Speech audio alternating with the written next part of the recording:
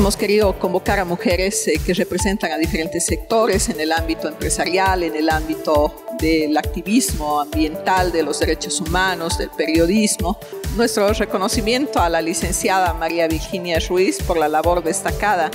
que realiza en el ámbito de la educación, pues es el tipo de mujeres que queremos en puestos de decisión, de poder, que construyen, que propongan. Este reconocimiento como mujer destacada se lo dedico a todas las mujeres UPDS